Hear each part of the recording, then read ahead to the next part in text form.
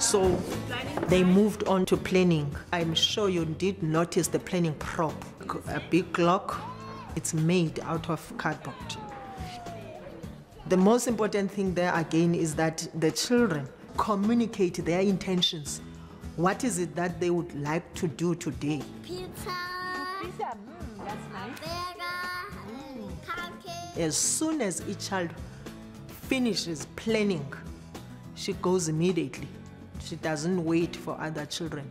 There are four areas there's toy, there's house area, there's block area,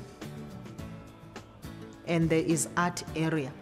So the teacher would ask the, each child where the child would like to go and play.